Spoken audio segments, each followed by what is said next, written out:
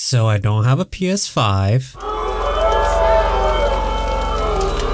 I, I know, I know, I, I still want to talk about it. Specifically about scalpers. It baffles me to this day that there are people out there that manage to sell them for a hefty amount of money. Now, scalpers are nothing new when it comes to video games. They appear whenever there's a low supply, high demand for a product, which are common when a new generation console comes out. The latest one that I can recall was the Nintendo Wii. It was Nintendo's biggest selling console and everybody wanted one. That was back when this thing was really hard to find in stores. Whenever my dad and I go out, we would always check on GameStop to see if they have one in stock. We did this for a while and managed to get one out of pure luck. I have to stress that this thing was hard to find in stores. Scalpers were selling it for almost $200 more than the MSRP.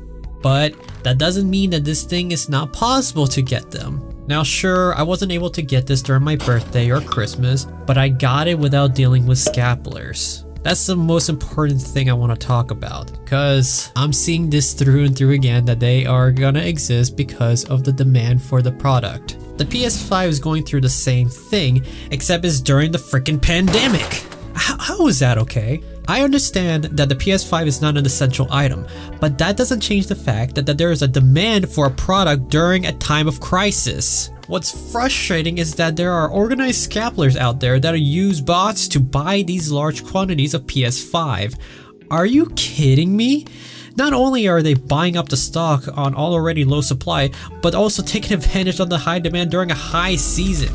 That's where most of the money is gonna go through. People want to buy them during the holidays, and the worst part is they're actually buying them for almost a thousand dollars.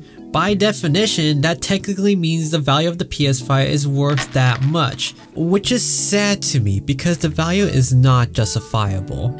In my amiibo video, I mentioned how the secondhand market sometimes can get ridiculous due to the high price, but that's only because those are not being manufactured anymore. The value becomes more consistent over time due to the existing quantity. Video game consoles value tends to be lower than the MSRP after production stopped. Look at the Nintendo Wii for example. The current value for a complete one in a box is around $150.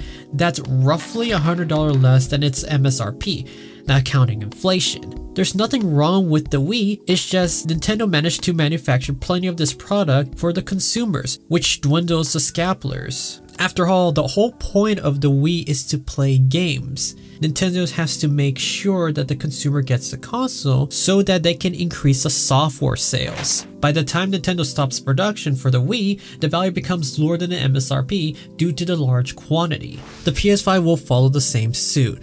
Scalpers will dwindle down once more PS5 are being manufactured. Maybe not before the holidays, but eventually they will. Remember, the PS5 hasn't been out for a year. Sony will make more because they also want to sell games to the consumer. That's how they make profit to begin with. Sony will make more PS5. But right now, scalpers are taking advantage on this opportunity. I'm not happy about that, but I'm also not happy that consumers are actually caving into the scalper's price. The value isn't worth that much in the long term. Personally, I can wait on buying a PS5. It's way too early in this life cycle for me to justify the purchase. In every new console generation, I always follow my rule of three. I try to think at least three games that I absolutely want before purchasing the console. I did that with my PS4 and it helped me a lot. Sure, it was near the end of the life cycle, but man, there was so many games during the time when I wanted to buy a PS4. Just so many. So yeah, that definitely helped me buy the console. With the PS5, there's currently one game I want, which is Demon's Souls. That's about it, and that's not enough for me to buy a PS5 quite yet. What about Miles Morales? Oh yeah, Miles Morales. The game looks good. However, it's also on the PS4. If I really wanted it, I could get it on that console instead. Even though there's maybe a graphical upgrade on the PS5, it's not enough of a jump for me to make it into my top 3. The point of this is for a justification to spend the console money, which is $4.99 MSRP.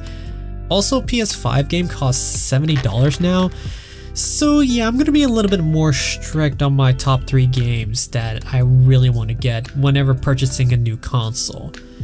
Anyway, I hope this helps out for people not buying a PS5 from scalpers. And hopefully encouraging on waiting until more game comes out.